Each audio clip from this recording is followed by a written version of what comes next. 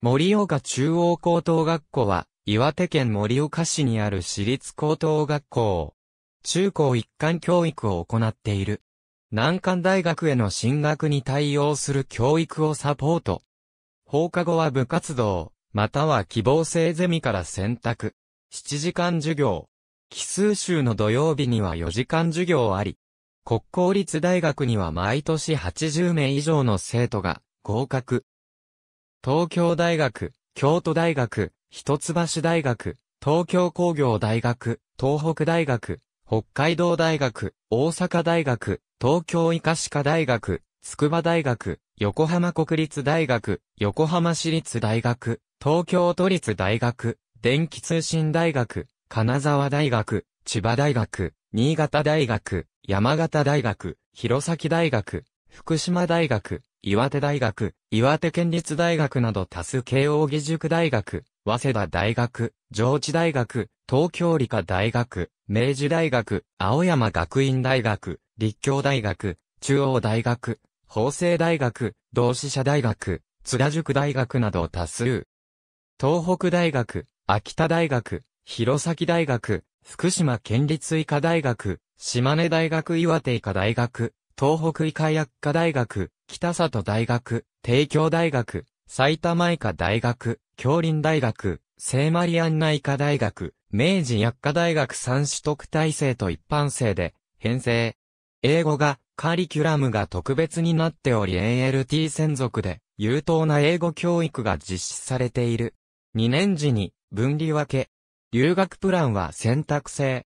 上智大学、中央大学、国際キリスト教大学、国際教養大学、鶴門科大学、岩手県立大学、同志社大学、など多岐にわたる A コース大学進学指導。2年時から分離分け。6時間授業。スポーツ特待制度あり。岩手大学、山形大学、弘前大学、岩手県立大学、青森公立大学、日本大学、専修大学、東洋大学、同志社大学、関西大学など多数 B コースシリーズ、文系大学、短大、各種専門学校への進学及び就職のサポート。6時間授業。土曜日なし。スポーツ特待あり。岩手県立大学、早稲田大学、日本大学、駒沢大学、専修大学、その他各種専門学校学力特待とスポーツ特待がある。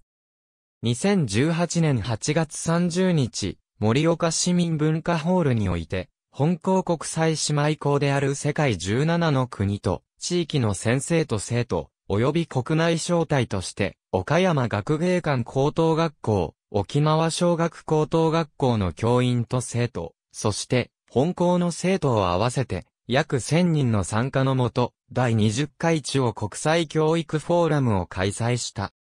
本校の参査同好会によるオープニングセレモニーから午前の部が始まり、学校法人、留宅学館理事長、校長、フォーラム実行委員長からの挨拶に続き、カナダケベックコレージュサンタンヌドゥ、ラシーヌ高校校長先生より、今日を生きる若者が、明日の世界のためにできることと題した、基調講演が行われた。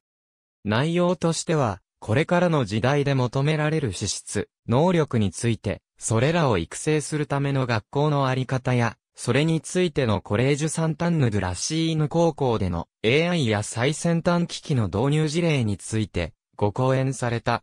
変化の激しい時代の中で何をして、どのように生きていくのかということについて考えさせられる講演だった。引き続き、姉妹校の生徒と本校生徒が、アンアイディールスクールイン2030、トランスフォーミングアワーワールドユージングザ SDGs、世界を変えるための学校づくりのテーマに基づき、5つのグループに分かれて、研究発表を行った。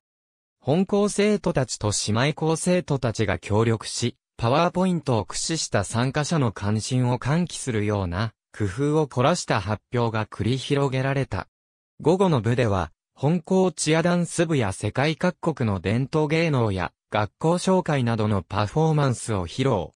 最後は、全員が参加して、フォーラムの歌を合唱し、盛況の中で、第20回中央国際教育フォーラムは閉幕した。